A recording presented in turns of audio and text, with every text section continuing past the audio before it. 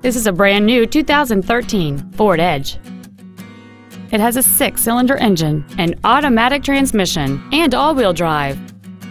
Its top features include a navigation system, a low tire pressure indicator, XM satellite radio, big 18-inch wheels, and traction control and stability control systems. The following features are also included a power driver's seat, air conditioning, cruise control, a six speaker audio system, leather and alloy steering wheel trim, a rear spoiler, privacy glass, dusk sensing headlights, heated side view mirrors, and an anti theft protection system.